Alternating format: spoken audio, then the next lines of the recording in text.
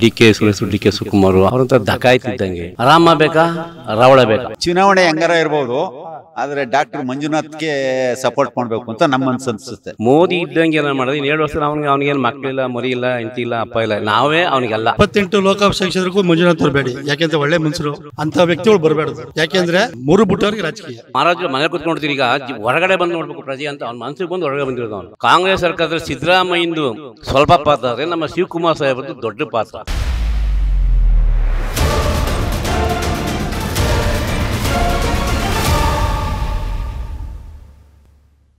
Election announce ಆಯಿತು. ಎರಡು face ಕರ್ನಾಟಕದಲ್ಲಿ ವೋಟಿಂಗು ಏಪ್ರಿಲ್ ಇಪ್ಪತ್ತಾರು ಮೇ ಏಳು. ಬಟ್ ರಿಸಲ್ಟ್ಗೆ ಜೂನ್ ನಾಲ್ಕನೇ ತಾರೀಕುವರೆಗೂ ಕಾಯಲೇಬೇಕು. For the first time result ಜೂನ್ಗೆ ಹೋಗಿದೆ. ಆದರೆ ಕರ್ನಾಟಕದಲ್ಲಿ ಕಾವು ಜೋರಾಗಿದೆ. ಕರ್ನಾಟಕದ ಇಪ್ಪತ್ತೆಂಟು ಲೋಕಸಭಾ ಕ್ಷೇತ್ರಗಳಲ್ಲಿ ಹೆಚ್ಚು ಪ್ರತಿಷ್ಠೆ ಇರುವಂಥ ಕ್ಷೇತ್ರ ಬೆಂಗಳೂರು ಗ್ರಾಮಾಂತರ. Because of D K brothers ಜೊತೆಗೆ ವರ್ಸಸ್ ಇದೀಗ ಡಾಕ್ಟರ್ ಮಂಜುನಾಥ. ಎರಡ್ ಸಾವಿರದ ಹತ್ತೊಂಬತ್ತರ ಲೋಕಸಭಾ ಚುನಾವಣೆಯಲ್ಲಿ ಕರ್ನಾಟಕದಲ್ಲಿ ಇಪ್ಪತ್ತೆಂಟು ಕ್ಷೇತ್ರದಲ್ಲಿ ಕಾಂಗ್ರೆಸ್ ಗೆದ್ದಿದ್ದು ಒಂದೇ ಒಂದು ಸೀಟು. ಇದೇ ಕ್ಷೇತ್ರ ಬೆಂಗಳೂರು ಗ್ರಾಮಾಂತರ. ವಿಧಾನಸಭೆ ಅಂದಾಗಿ ಚನ್ನಪಟ್ಟಣಕ್ಕೆ ಬರುತ್ತೆ. ಮಾಜಿ ಮುಖ್ಯಮಂತ್ರಿ ಎಚ್ ಡಿ ಕುಮಾರಸ್ವಾಮಿ ಅವರು ಇಲ್ಲಿ ಶಾಸಕರು. ಸಂಸದರು ಡಿ ಕೆ ಸುರೇಶ್ ಲೆಕ್ಕಾಚಾರ ಜೋರಾಗಿ ನಡೀತಾ ಇದೆ. ಕರ್ನಾಟಕದಲ್ಲಿ ಕಾಂಗ್ರೆಸ್ ಸರ್ಕಾರ ಇದೆ. ಗ್ಯಾರಂಟಿ ಯೋಜನೆಗಳು ನುಡ್ದಂತೆ ನಡೆದಿದ್ದೀವಿ. ಕಾಂಗ್ರೆಸ್ ಅವ್ರಿಗೆ ಹೇಳ್ಕೊಳಕ್ ಬೇಕಾದಷ್ಟು. ಆದರೆ ಬಿ ಜೆ ಪಿಯವ್ರಿಗೆ ಮೋದಿ ರಾಮ ಮಂದಿರ ಡಾಕ್ಟ್ರು. ಇದು ಈ ಕ್ಷೇತ್ರದಲ್ಲಿ ನಡೀತಿರೋ ಲೆಕ್ಕಾಚಾರ. ಕೇಳೋಣ ಇಲ್ಲೊಂದಷ್ಟು ಜನ ಮತದಾರರಿದ್ದಾರೆ ಸರ್ ನಿಮ್ಮ ಹೆಸರು? ರಾಮಚಂದ್ರು. ರಾಮಚಂದ್ರ ಅವರೇ ರಾಮಚಂದ್ರ ಶ್ರೀರಾಮ ಎಲ್ಲ ಲೆಕ್ಕಾಚಾರ ಒಂದು ಜೋರಾಗಿ ನಡೀತಾ ಇದೆ ದೇಶದಲ್ಲಿ. ಏನಿದೆ ಬೆಂಗಳೂರು ಗ್ರಾಮಾಂತರ? ಬೆಂಗಳೂರು ಗ್ರಾಮಾಂತರ ಇವತ್ತಿನ ಒಂದು ಇದ್ರೊಳಗಡೆ ಡಾಕ್ಟ್ರು ಬಂದಮೇಲೆ ಡಾಕ್ಟ್ರು ಅಂತ ಹೆಸರು ಕೇಳಾದ್ಮೇಲೆ ಆ ಒಂದು ಚಿತ್ರನೇ ಚೇಂಜ್ ಆಗ್ಬಿಡ್ತಾ ಅದೇ ಬೇರೆ ಅಭ್ಯರ್ಥಿ ಏನಾರ ಬಿ ಜೆ ಪಿಯಿಂದಾಗಿರೋ ಏನಾಯ್ತಿತ್ತೋ ಗೊತ್ತಿಲ್ಲ. ಡಾಕ್ಟ್ರು ಅಂದಮೇಲೆ ಒಂದು ಸ್ವಲ್ಪ ಎಲ್ಲರಿಗೂ ಡಾಕ್ಟ್ರು ಬರೀ ತುಂಬ ಪ್ರೀತಿ. ಹೆಚ್ಚಿದೆ. ಗೊತ್ತಿರಲಿ ಗೊತ್ತಿಲ್ಲದೆ ಇರಲಿ.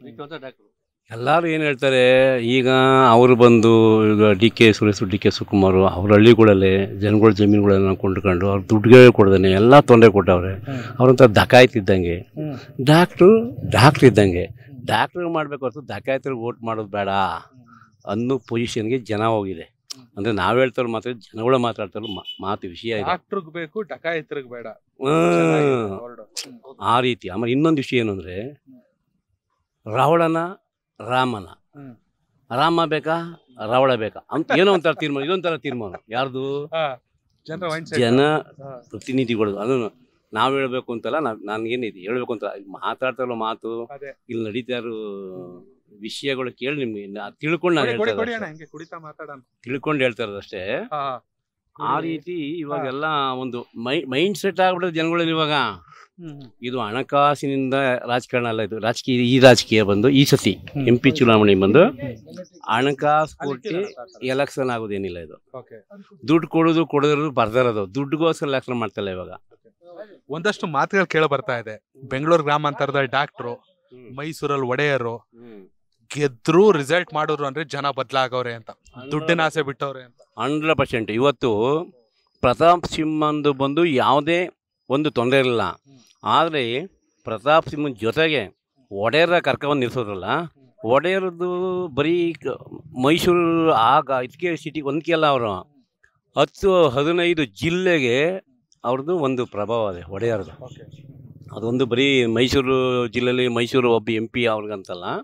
ನಮ್ಮ ಮಂಡ್ಯಕ್ಕೂ ಸುಧಾ ಅದು ಬೀರ್ತದೆ ಚಾಮರಾಜನಗರಕ್ಕೂ ಬೀರ್ತದೆ ನಮ್ಮ ತುಮಕೂರಿಗೂ ಬೀರ್ತದೆ ನಮ್ಮ ಇಲ್ಲಿಗೂ ಬೀಳ್ತದೆ. ಇಲ್ಲಿ ಒಡೆಯರು ಬಂದು ನಿಂತ್ಕೊಂಡವ್ರೆ ಅಂದರೆ ಏನೋ ಒಂದು ಪ್ರಮುಖ ಒಳ್ಳೆ ಸಿದ್ಧತೆಯ ಮೇಲೆ ನಡೀತದೆ. ಈಗ ಮೋದಿಯವ್ರದ್ದು ಇನ್ನೇನು ಮುಗಿತಾ ಬಂತು ಮೋದಿ ಮೋದಿಯವ್ರು ಇದ್ರೆ ಒಂದು ಎರಡು ವರ್ಷ ಎರಡು ವರ್ಷ ಮುಗಿತಾ ಅವ್ರ ಕತೆ. ಮುಗಿದಾದ್ಮೇಲೆ ಬಿ ಜೆ ಪಿಯಿಂದ ಯಾರು ಬರ್ಬೋದು. ಮೋದಿ ಇದ್ದಂಗೆ ಏನಾರು ಮಾಡೋದು ಇನ್ನು ಎರಡು ವರ್ಷ ಅವನಿಗೆ ಅವನಿಗೇನು ಮಕ್ಕಳಿಲ್ಲ ಮರಿ ಇಲ್ಲ ಹೆಂಡತಿ ಇಲ್ಲ ಅಪ್ಪ ಇಲ್ಲ ನಾವೇ ಅವನಿಗೆಲ್ಲ. ಯಾರು? ದೇಶನೇ. ಅವನಂತ ಅವನು ಏನಲ್ಲ ಆಲ್ರೆಡಿ ಹೇಳ್ಕೊಂಡವನು. ನಾನಲ್ಲಪ್ಪ ನನಗೆ ಕುಟುಂಬ ವರ್ಗ ಯಾರು ಇಲ್ಲ ನಮ್ಮ ಎಲ್ಲ ಮ- ಇಂಡಿಯಾ ಜನವೇ ನನ್ನ ಕುಟುಂಬ ವರ್ಗ ಅಂತ ನಾನು ಹೇಳ್ಕೊಂಡವನೆ.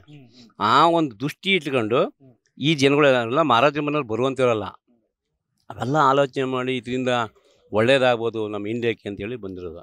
ಇದರಲ್ಲಿ ತುಂಬ ಸಕ್ಸಸ್ಫುಲ್ ಅದೇ. ಯಾವುದೇ ರೀತಿ ಒಡೆಯರು ಬರಬೇಕಾದ್ರೆ ಒಡೆಯರು ಬರುವಂತೆ ಮನಸ್ಸೇ ಅಲ್ಲ ಅವನು. ಅದರಲ್ಲಿ ಪ್ರತಾಪ್ ಸಿಂಹ ಯಾವ ಕಪ್ಪು ಚಿಕ್ಕಿನ ಇರಲಿಲ್ಲ. ಅನ್ಯಾಯ ಅಂತ ಯಾರಿಗೋ ಸ್ವಲ್ಪ ಜನಕ್ಕೆ ನಿಜವಾದ ಆಟ ಇಲ್ಲೇ ಶುರುವಾಗಿರೋದು ಯಾವ ತರ? ಈಗ ಒಬ್ಬ ಮಹಾರಾಜರು ಅವನಿಗೆ ಎಲ್ಲ ಸವಲತ್ತು ತುಂಬ ಚೆನ್ನಾಗಿದ್ವಾಗ ಅವನು ಬಂದು ಈ ಬಿಸಿಲಲ್ಲಿ ಒಣಗಾಡಿ ತಿರುಗಾಡ್ಬೇಕು ಅಂತ ಏನಿಲ್ಲ ಅವನು. ಪ್ರಜೆಗಳ ಮಹಾರಾಜರು ಮನೆ ಕುತ್ಕೊಂಡಿರ್ತೀರಿ ಈಗ ಹೊರಗಡೆ ಬಂದು ನೋಡ್ಬೇಕು ಪ್ರಜೆ ಅಂತ ಅವ್ನ ಮನಸ್ಸಿಗೆ ಬಂದು ಹೊರಗಡೆ ಬಂದಿರೋದು ಅವನು. ಟೀ ಅಂಗಡಿ ಇದ್ದಾವೆ ಮಹಾರಾಜ ಕುತ್ಕೊಂಡು ಟೀ ಕುಡಿತಾ ಕೂತಾವ ನಮ್ಮ ನಮ್ಮ ರೀತಿ. ಈಗ ನಾವೇನು ಟೀ ಕುಡಿತೇವೆ ನೋಡಿ. ಎಸ್ ಸರ್ ಈಗ ಬೆಂಗಳೂರು ಗ್ರಾಮಾಂತರ. ದೇಶದಲ್ಲೇ ಚರ್ಚೆ ಆಗ್ತಾ ಇದೆ ಈ ಕ್ಷೇತ್ರ. ಇಡೀ ದೇಶದ ಐನೂರ ನಲವತ್ತ ಮೂರು ಲೋಕಸಭಾ ಕ್ಷೇತ್ರಗಳಲ್ಲಿ ಬೆಂಗಳೂರು ಗ್ರಾಮಾಂತರ ಯಾಕೆ ಚರ್ಚೆ ಆಗ್ತಿದೆ ಹೇಳಿ? ಪ್ರತ್ಯೇಕ ರಾಷ್ಟ್ರದ ಹೇಳಿಕೆ. ಹೇಳಿಕೆ ಒಂದು. ಎರಡನೇದು ಏನು ಅಂದರೆ ಇಲ್ಲಿ ಈಗ ಸರ್ಕಾರ ಆಲ್ರೆಡಿ ಕಾಂಗ್ರೆಸ್ ಇದೆ. ಕಾಂಗ್ರೆಸ್ ಸರ್ಕಾರದಲ್ಲಿ ಸಿದ್ದರಾಮಯ್ಯಂದು ಸ್ವಲ್ಪ ಪಾತ್ರ ಆದರೆ ನಮ್ಮ ಶಿವಕುಮಾರ್ ಸಾಹೇಬ್ರದ್ದು ದೊಡ್ಡ ಪಾತ್ರ. ಅವ್ರ ಪಾತ್ರಧಾರಿ ಈ ಮಟ್ಟದ ಪಾತ್ರಧಾರಿ ಈ ಮಟ್ಟಕ್ಕೆ ಗದೆ ಕತ್ತಿ ಎಲ್ಲ ಇರ್ತದೆ ಅದೇ. ಯುದ್ಧ ಮಾಡಕ್ಕೆ ಬಂದಂಥವು ಏನು ಒಂದು ಕಡ್ಡಿ ಹಿಡ್ಕೊ ಬಂದವನು ಅವನು. ಅವನು ಯಾವ ಯುದ್ಧ ಮಾಡೋನು ಅನ್ನೋದು ಒಂದು ಸೃಷ್ಟಿಯಾಗಿರೋದಿಲ್ಲಿ ಇದು ಮುಂದಿನಿಂದ ಕಾದು ನೋಡಬೇಕು. ನಾನು ಹೇಳ್ದಲ್ಲ ಜನ ಏನು ಮಾಡ್ತಾರೆ ಡಾಕ್ಟರ್ ಬೇಕಾ ದಕ್ಕಾಯ್ತರ ಬೇಕಾ? ರಾಮ ಬೇಕಾ ರಾವಣ ಬೇಕಾ? ಈ ರೀತಿ ಕೇಳ್ತಾವ್ರಲ್ಲ. ಅದರಿಂದ ಯಾವ್ಯಾವ ರೀತಿ ಜನಗಳ ಬಾಯಲ್ಲಿ ಏನು ಬರ್ತದೆ ಅದೇ ಆಗುತ್ತೆ ಎಸ್ ವೀಕ್ಷಕರೇ ಕರ್ನಾಟಕ ಟಿವಿಯ ಲೋಕಸಭಾ ಚುನಾವಣೆ ಲೆಕ್ಕಾಚಾರ ಬೆಳಗ್ಗೆಯಿಂದ ಕೂಡ ಕನಕಪುರ ವಿಧಾನಸಭಾ ಕ್ಷೇತ್ರ ಅಂದ್ರೆ ಇದು ಬೆಂಗಳೂರು ಗ್ರಾಮಾಂತರ ಲೋಕಸಭಾ ಕ್ಷೇತ್ರ. ಸಂಸದರು ಡಿ ಕೆ ಸುರೇಶ್ ಶಾಸಕರು ಡಿ ಕೆ ಶಿವಕುಮಾರ್ ಉಪಮುಖ್ಯಮಂತ್ರಿಗಳು ಕೂಡ ಹೌದು. ಇದೀಗ ನಾವು ಸಾತ್ನೂರಲ್ಲಿದ್ದೀವಿ. ಇಲ್ಲಿನ ಜನ ಏನು ಹೇಳ್ತಾರೆ ಕೇಳೋಣ. ಸರ್ ನಮಸ್ತೆ. ನಿಮ್ಮ ಹೆಸರು? ನಮ್ಮ ಹೆಸರು ಭೀಮೇಗೌಡ ಅನ್ಬಿಟ್ಟು ಭೀಮೇಗೌಡ್ರು ಏನು ಮಾಡ್ತೀರಿ ನೀವು? ನಾವು ವ್ಯವಸಾಯ ಮಾಡೋದು. ವ್ಯವಸಾಯ. ಈಗ ಚುನಾವಣೆ ಬರ್ತಾ ಐತೆ. ಒಂದ್ ಕಡೆ ಡಿ ಕೆ ಸುರೇಶ್ ಇನ್ನೊಂದ್ ಕಡೆ ಡಾಕ್ಟರ್ ಮಂಜುನಾಥ್ ದೇವೇಗೌಡರ ಅಳಿಯ ಜಯದೇವ ಆಸ್ಪತ್ರೆ ಮಾಜಿ ನಿರ್ದೇಶಕರು. ಹೆಂಗಿರುತ್ತೆ ಈ ಸಲ ಚುನಾವಣೆ? ಚುನಾವಣೆ ಹೆಂಗಾರ ಇರ್ಬೋದು. ಆದ್ರೆ ಡಾಕ್ಟರ್ ಮಂಜುನಾಥ್ಗೆ ಸಪೋರ್ಟ್ ಮಾಡ್ಬೇಕು ಅಂತ ನಮ್ಮ ಮನ್ಸು ಅನ್ಸುತ್ತೆ ಯಾಕೆ ಯಾಕೆ ನಾವು ಅಂಜಿ ಅಂಜಿಗ್ರಾಮ್ ಆಗಿದೆ ಅದೇ ಹಾಸ್ಪಿಟ್ಲಲ್ಲಿ. ಈ ತರ ಇದೆ. ಹೌದು ಆದ್ರೆ ನಮ್ ಕ ನಮ್ ಕಷ್ಟಕ್ಕೆ ಅವ್ರಾಗವ್ರೆ ಅಂದಾಗ ಅವ್ರ ಕಷ್ಟಕ್ಕೆ ನಾವು ಆಗ್ಬೇಕು ಅಂತ ನಮ್ಗೆ ಇಷ್ಟೇ ಇನ್ನೆಚ್ಚಿಗೆ ಹೇಳುದೇನಿಲ್ಲ ಹೇಳುವುದೇನಿಲ್ಲ. ಓಕೆ. ಅಂದ್ರೆ ಡಾಕ್ಟ್ರು ಸಾಕಷ್ಟು ಜನರಿಗೆ ಬೇಕಾದವರು ಆರೋಗ್ಯದ ವಿಚಾರದಲ್ಲಿ. ಮತ್ತೊಂದ್ ಕಡೆ ಡಿ ಕೆ ಸುರೇಶ್ ಅವರು ರಾಜಕೀಯವಾಗಿ ಕೂಡ ಸಾಕಷ್ಟು, ಅಂದ್ರೆ ಮೇಲಿನ ಮೇಲೆ ಗೆದ್ದವ್ರೆ ಸಾಕಷ್ಟು ಕೆಲಸಗಳು ಮಾಡೋರೆ ಜನ ಹೇಳ್ತಾರೆ. ನೀವೇನಂತೀರ ನಾವು ಅವ್ರು ಮಾಡಿರೋ ಕೆಲಸನೂ ಏನು ಗುರ್ತಿಸ್ಕೊಂಡು ನಾನು ಈಗ ಮಾಡೋರಿ ಅಂತ ನಾ ಹೇಳಲೆ ಈಗ ಅಕಸ್ಮಾತ್ ಇವ್ರು ಮಾಡಲಿಲ್ಲ ಅಂತ ಹೇಳಲೆ ಈಗ ನಾವು ಹೇಳದ್ವಲ್ಲ ಒಂದೇ ಮಾತು ನಮ್ಮ ಕಷ್ಟದಲ್ಲಿ ಆಗ ಅವ್ರಾಗವ್ರೆ ಮಂಜುನಾಥ್. ಮಂಜುನಾಥ್ ಈಗ ಓಟಿಗೆ ನಿಂತವ್ರೆ ಅಂದ್ರೆ ನಮ್ಗೇನೋ ಈ ಸರ್ ಓಟ್ ಹಾಕುವ ಅಂತ ನಮ್ಗೆ ಏನ್ ಫಸ್ಟ್ ಟೈಮ್ ಅವ್ರ ಹೆಸರು ಕೇಳಿಸ್ದಾಗ ಏನ್ ಅನ್ನಿಸ್ತು? ರಾಜಕೀಯಕ್ಕೆ ಬರ್ತಾವ್ರೆ ಅಂದಾಗ? ಪರವಾಗಿಲ್ಲ ಸಾರ್ವಜನಿಕವಾಗಿ ಬಡವ್ರ ಬಗ್ಗರಿಗೆಲ್ಲ ಒಂದು ಒಳ್ಳೆ ಕೆಲಸ ಮಾಡವ್ರೆ. ಅವ್ರು ಬಂದವ್ರೆ ಬಂದ್ರೆ ಏನಾರ ಅವ್ರು ಗೆದ್ದದ್ದೇ ಆದ್ರೆ ಸಾರ್ವಜನಿಕವಾಗಿ ಬಡವ್ರಿಗೆ ಎಲ್ಲ ಉಪಕಾರ ಆಯ್ತು ಅಂತ ಅನ್ಕೊಂಡಿದೀವಿ ಅಲ್ಲಿ. ಗೆದ್ರೆ ಉಪಯೋಗ ಆಗುತ್ತೆ ಅಂತ ಅನ್ಕೊಂಡಿದೀವಿ. ಓಕೆ. ಈಗ ರಾಜ್ಯದಲ್ಲಿ ಕಾಂಗ್ರೆಸ್ ಸರ್ಕಾರ ಇದೆ. ನಿಮ್ ಶಾಸಕರೇ ಉಪಮುಖ್ಯಮಂತ್ರಿಗಳು ನಿಮ್ ಸಂಸದರೇ ಅವರೇ ಗ್ಯಾರಂಟಿ ಯೋಜನೆಗಳು ಕಾಂಗ್ರೆಸ್ ಸರ್ಕಾರ ಇವೆಲ್ಲದೂ ಬಿಜೆಪಿಗೆ ನೆಗೆಟಿವ್ ಆಗಲ್ವಾ ಅಥವಾ ಕಾಂಗ್ರೆಸ್ಗೆ ಪ್ಲಸ್ ಆಗಲ್ವಾ? ಆಯ್ತದೆ ಅಂತ ಹೇಳೋಕ್ಕಾಗಲ್ಲ ನಾವು. ಅವ್ರಿಗೆ ಇವ್ರಿಗೆ ಪ್ಲಸ್ ಆಯ್ತಾ ಬಿಜೆಪಿಗೆ ನೆಗೆಟಿವ್ ಆಯ್ತದೆ ಅಂತ ನೀವು ಹೇಳಿದ್ರಲ್ಲ ಆ ಥರನೂ ಏನಿಲ್ಲ. ಜನ ಇವತ್ತೆಲ್ಲ ತಿಳ್ಕೊಂಡಿದ್ದಾರೆ ಬಿಡಿ. ತಿಳ್ಕೊಂಡವ್ರ ಯಾರೇನು ಅಂತ ತಿಳ್ಕೊಂಡು ಜನದ ಮಟ್ಟಿಗೆ ಹೋಯ್ತದೆ. ಓಕೆ. ಅಷ್ಟೇ. ಅವ್ರವ್ರ ಯೋಗ್ಯತೆ ಏನದೆ ಅವರು ಇದು ಮಾಡ್ತಾರೆ ಅಷ್ಟೇ. ಈ ಕಳೆದ ಸರಿ ಗೆದ್ದಾಗಿಂದ ನಿಮ್ ಸಂಸದರ ಬಗ್ಗೆ ಏನಂತೀರಾ? ನಾವೇನ್ ಹೆಚ್ಚಿಗೆ ಅವರ ಏನು ಯಾವ್ದಕ್ಕೂ ನಾವು ಹೋಗ್ಲೂ ಇಲ್ಲ. ಅವ್ರ ಏನ್ ಮಾಡ್ತಾವ್ರೆ ಅನ್ನೋದು ನಮಗ್ ಗೊತ್ತಿಲ್ಲ. ಗೊತ್ತಿಲ್ಲ. ಗೊತ್ತಿಲ್ಲ. ಒಟ್ಟಲ್ಲಿ ಮಂಜುನಾಥ್ ಅಂತವ್ರು ರಾಜಕೀಯಕ್ಕೆ ಬರ್ಬೇಕು ಅಂತ. ಬರ್ಲಿ ಅಂತ ನಾವು ಅನ್ಕೋತೀವಿ ಎಲ್ಲಾರು ಸೇರಿ ಅವ್ರು ಬರೋಂಗ್ ಮಾಡ್ಕೊಂಡ್ರೆ ಇದ್ದು ಒಳ್ಳೇದು. Doctor Manjunath versus D K Suresh. D K Suresh. D K Suresh.